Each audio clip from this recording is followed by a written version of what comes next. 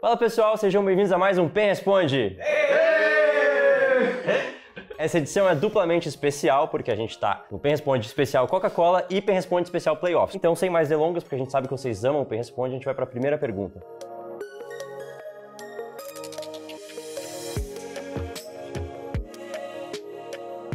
O Lucas Camilo Oliveira está muito curioso para saber como você vem mentalmente para os playoffs com toda a responsabilidade de ser um dos callers do time e por ser o motor de um time que todos apontam como favorito. O Collor. O caller. Cara, eu tô, tô bem tranquilo. Eu confio bastante nesse time. Eu me sinto muito confortável pra dar call, porque eu sei que eles também confiam em mim. Caso não seja uma call boa, eles, a gente conversa bastante e tenta tomar a melhor decisão. Não é uma pressão que eu sinto. Eu tô, tô bem tranquilo pra isso. Pergunta para o time do Emiliano Dias. Quando eu falo para o time, qualquer um pode responder. Idealmente todo mundo responde. Votei no robô já, essa pergunta. Eu votei nessa. Bom, essa não tem como não responder todo mundo. Como é a preparação de cada um pré-playoffs e o que fazem em grupo para se distrair? Pergunta do Emiliano Dias. Bom, eu particularmente eu foco mais no LoL em si, eu deixo de jogar jogos que eu me distraí um pouco mais, ou deixo de ver seriados que eu assistiria, filmes, etc. Fico só assistindo replay e focando no LoL mesmo. E em grupo em si, acho que nada de diferente. O que a gente tá fazendo agora é que a gente tá reunindo, que antes a gente não tava por conta da pandemia. E acho que dá uma diferença bem grande também. Que série você deixou de assistir pros playoffs? Não, não, não. Vamos com calma, velho. O shot caller falou que é você. Então, acho que na época dos playoffs dou um foco a mais no LoL, igual o robô. Jogo mais solo kill, vejo mais replay. Acho que é o o mínimo que dá pra fazer, porque os playoffs acontecem muito rápido, é um mês ali pra dois jogos muito importantes que você vai ter, que vai definir seu futuro, basicamente. Então, dou um foquinho a mais. E coisa em time, acho que é aquilo bem padrão. Às vezes sair pra jantar, obviamente, fora da pandemia, almoçar junto, jantar junto. Acho que dá pra conversar bastante do time, dá pra ver umas coisas do LoL também. Acho bem legal. Ah, Sushizinho, né? posso falar, tipo, a mesma coisa? Ah, daí é tudo igual, não? Acho que todo mundo foca mais no, no jogo em si. Eu, particularmente, assisto mais replays lá de fora pra ver alguma estratégia nova, diferente. Ah, foco bastante também no meu pessoal, tento manter uma rotina de exercício, alimentação, pra não ficar muito estragado durante a semana pro dia do jogo. Em grupo é isso aí, né? Pandemia. Vambora. Todo mundo falou, não tem muito mistério, eu tô até. Cara, eu tô até jogando solo kill, cara. Parada meio bizarra, assim, pra mim, que faz um tempo já que eu não tava jogando.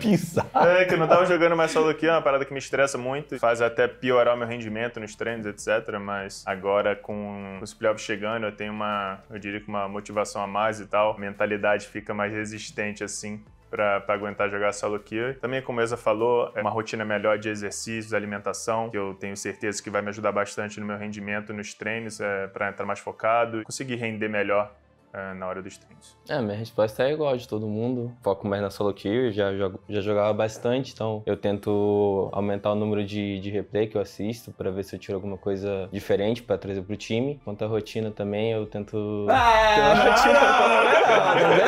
Não mete louco! É, isso é eu mentira. tenho- Eu tenho uma rotina, não é, É. igual a sua, mas. Mas tenta comer mais hambúrguer, mais pizza e tal. mais, né? É, então. É que cada um, né? Cada um é cada um.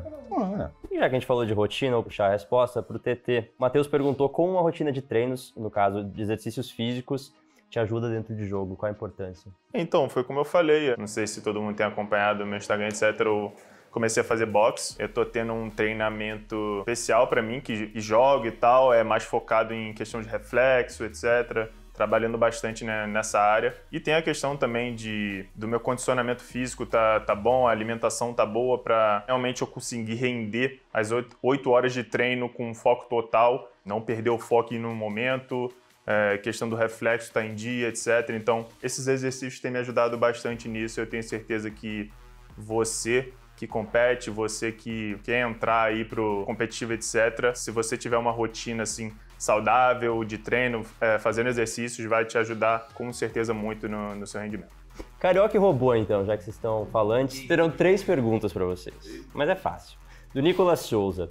Vocês gostaram da Lilia? Ela tem aparecido bastante na LPL. Vocês acham que dá pra pintar na semi? E quais os pontos fortes dela, na opinião de vocês? No começo eu tava achando meio interessante ela, eu achei que ela podia ser muito útil pro time. Só que bom, conforme fui jogando com ela, eu fui assistindo umas partidas também, eu deu a sensação que ela é meio useless no, no meio do jogo. O não que, que é useless, assim, pros leigos? Inútil. Eu não queria Boa. falar inútil, inútil é muito Não, pesado. mas é inútil. É inútil, é inútil, mano. Então, tipo, se ela tá na frente, tipo, não faz muita diferença. Então, ela depende muito do time dela estar na frente e ter uma boa composição de luta. Eu acho muito difícil encaixar ela num- numa composição boa. Então, eu não tenho uma opinião muito certa sobre ela. É, no top ela é- não é muito forte, ela consegue jogar algumas matchups, mas em geral ela não é muito forte não. Os outros campeões têm bem mais força do que ela. Ímpeto, conquistador, colheita. Eu prefiro colheita, só que meu time fala que é runa de solo kill. Lembrando que se você ainda não é inscrito, ativa o sininho, se inscreve, deixa o seu like nesse vídeo. Sua colaboração é muito importante pra gente e fica ligado porque a gente tem vídeo novo todas as segundas, quartas e sextas às 19 horas aqui no canal. Como vocês estão se sentindo como um time e se estão bem entrosados ou acreditam que ainda falta alguma coisa na comunicação? Com certeza dá pra melhorar a comunicação, né? Tipo, nunca tá 100%, mas acho que a gente tá bem, sim, como equipe. A nossa comunicação, se eu não me engano, é uma das melhores do, do CBLOL, assim. A gente tenta conversar bastante durante os jogos, a gente tenta tomar a melhor decisão possível, a gente não afoba em comunicação, a gente não sai gritando igual uns malucos da cabeça. Então a gente consegue é, se controlar dentro do jogo e comunicar bem. Acho que é isso, né, Tim? O que, que você acha? Menos robô. Robô É, o, o robô gritando. Se tiver de de mal, cara, então. Cara, tomei de graça, velho. Eu vou emendar outra pra vocês, é do Christopher. Ele falou que você disse em uma entrevista que se divertia mais jogando de suporte. A dupla da bot lane influencia nisso? Com certeza influencia, eh, tanto quando eu jogava de AD, influencia muito com quem eu tô jogando de suporte, se a pessoa tá gostando de jogar comigo, se eu tô gostando de jogar com ela, e de suporte eu- é a mesma coisa, se eu tenho que estar gostando de jogar com o Care, porque tem que ter essa sinergia na bot lane. Mas hoje, com certeza, eu me divirto muito mais jogando de suporte, porque... É porque você não tem erro, né? Mas é porque, querendo ou não, eu gosto de comunicar bastante, eu gosto de ser ativo dentro de jogo, e de AD Care você só fica ali farmando, lane chato pra caramba, aí precisa de gente te protegendo o tempo todo, precisa de não sei o que, não sei o que, precisa de não sei o que. E suporte eu vou aonde eu quiser, quando eu quiser, tanto faz pra mim, então, muito mais legal. Popô, como está sendo se adaptar ao novo estilo de jogo que esquece um pouco o split e se volta a jogar mais com o time? Bom, acho que pra mim é tranquilo, acho que eu já fui campeão nesse estilo uma vez. Eu não me importo, acho que se, se virar pros carries eu tenho que treinar, se ficar nos tanques eu tenho que treinar, então... Se precisar jogar de suporte tem que treinar, então... Me adapto fácil, eu acho, porque eu jogo bastante solo kill também, então eu tenho uma tipo bem, bem vasta. E eu fico tranquilo com isso, porque pra mim é de boa. Basta. Basta. Quer X1 aí, qualquer champ, só cria aí. Pergunta para o Tim, do Danilo Gomes. Hoje você é considerado o melhor mid BR. Qual a sensação e se você sente alguma pressão? E queria também agradecer porque voltamos a nos orgulhar de ser- sermos torcedores e mesmo que não chegue à final, vou estar sempre apoiando. Que fofo. Quem que titulou, assim, que ele é o melhor mid? O cara aí, pô.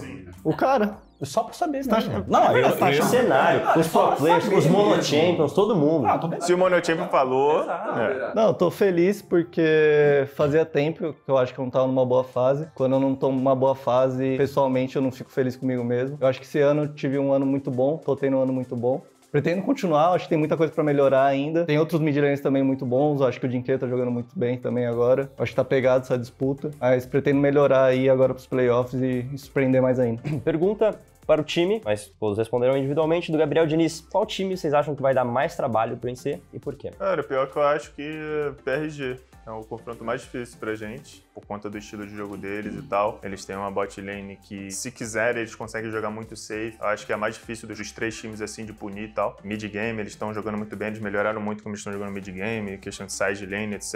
E é, eu acho que é o- vai ser o time mais difícil, assim. Eu acho que se a gente conseguir passar da PRG, a nossa chance de título é bem grande. Todos concordam? Eu concordo, acho, acho que a PRG, pelo menos pra mim, é bem chato jogar contra eles. Eles jogam bastante em volta do top, então é, é muito mais complicado jogar contra eles do que jogar contra a Cabo NTZ, que jogam mais pelo mid, pelo bot, e é bem difícil jogar contra eles. Os três adversários são bastante difíceis, é, cada um do seu jeito, mas eu acredito que, pelo que a Kabum mostrou nos jogos contra a gente, eles seriam um adversário mais difícil. O jeito que eles jogam é um pouco chato de lidar, você tem que ser bastante disciplinado para jogar contra eles, e só por esse motivo eu acho ele mais difícil. Pergunta para o BRTT. Sei que vocês estão bastante focados para esses playoffs, mas depois de tantos CBLOls ganhos, você ainda sente aquele frio na barriga? Ah, com certeza. o fato de, tipo, eu sentir que eu tô com um time muito forte e que, tipo, se a gente for para fora, a gente consegue ganhar de muitos times lá. Eu acho que dá essa, essa motivação a mais, essa a famosa ansiedade e tal pros playoffs, para conseguir realmente pro Mundial de novo. Porque se eu tivesse indo pro playoff com um time que eu vejo que, tipo, que não tem futuro, ou que vai, se for lá para fora, vai tomar surra, tipo, eu não teria motivação nenhuma, porque realmente ganhar mais um CBLOL, tipo, não é motivação, tá ligado? Pra mim. É, tipo, realmente ir pra fora e bater em quem tiver que bater. Então, eu sinto que com esse time aqui a gente realmente tem capacidade se a gente conseguir se manter focado e melhorar ainda até lá. Acho linda essa resposta, porque não é todo jogador que responderia que o objetivo é ser campeão lá fora. É muito audacioso esse pensamento. O cenário precisa mais disso. Pergunta do Iago Victor Prueza. Você acha que nessa fase de grupos vocês desempenharam o que era esperado ou faltou alguma coisa? Olha, pra ser bem sincero, acho que faltou muita coisa. Vou parar de trollar bastante. Eu só tomo de graça, velho. Não, com certeza a gente tinha bastante potencial, assim, para fazer uma fase de grupos bem isolado, em primeiro lugar, pra ser bem sincero, mas a gente perdeu muitos jogos de bobeira. Mas a gente tá feliz com a campanha, terminamos em primeiro lugar, então, tipo, ninguém vai lembrar de quantas vitórias e quantas derrotas foram. Vai lembrar que a PEN ficou em primeiro na fase de grupos. Então acho que a gente tá. É, no final só lembra quem ganhou. Por enquanto, né? CBLOL, né? Os playoffs Não, acabou. mas falei agora, agora, não começou os jogos ainda, entendeu? Do playoff. Agora o campeonato de verdade começa. Mas acho que, no fundo, a gente sente que poderia ter sido melhor, só que a gente tá satisfeito em ter ficado em primeiro lugar. Deixa eu fazer uma pro robô. Faz. Pergunta do BRTT pro robô. Robô, tipo, muitas pessoas mandam as mensagens, DM, etc. Twitter, Instagram, perguntando por que, que você trola tanto. Ah, o que, que você quer saber? Foi uma pergunta. Por que, que você trola tanto? Tem jogo que você joga bem, tem jogo que você trola. Não, eu sou um gênio incompreendido, certo? Vai ter a jogada difícil de fazer? Eu vou fazer. Eu acho que é porque eu não tenho medo de arriscar, então tem alguma jogada que algum jogador acha que vai ser mais arriscada e prefere não fazer, eu vou fazer, porque meu estilo de jogo é bom, porque eu consigo ver essas janelas difíceis e tentar executar elas. Acho que é meu maior, maior trunfo, assim, e se der certo, eu vou poder vou ganhar o jogo basicamente sozinho. Se der errado, vai azedar. Mas quatro splits aí em primeiro lugar na fase de grupos, acho que o troll tá em dia, então. Então esse foi o Pen Responde, espero que vocês tenham curtido. Não esqueçam de deixar seu like, se você não se inscreveu no canal ainda, se inscreve, porque tem vídeo novo todas as segundas, quartas e sexta, às 19 horas. Muito obrigado e nos vemos no próximo.